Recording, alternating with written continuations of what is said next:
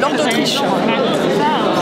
C'est un livre qui raconte euh, les liens entre la musique et l'histoire, comment des compositeurs se sont inscrits dans leur époque, dans une histoire particulière, et euh, ont traduit un moment d'histoire, un règne, une dictature, une guerre dans leur œuvre. Et comment, d'une certaine façon aussi, ils ont fait l'histoire. Shostakovich et Staline, Beethoven et Napoléon, Lully et Louis XIV par exemple.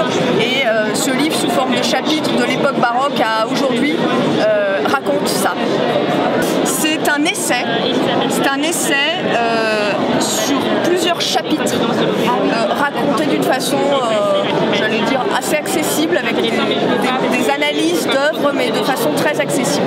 Compositeur par chapitre, un chapitre par compositeur et à l'intérieur quelques œuvres, opéras, sonates, symphonies, qui sont analysées mais à la lumière de, l'histoire justement. Et quelles, traces de l'histoire on, trouve dans euh, symphonies, dans des opéras, euh, même dans des sonates pour piano.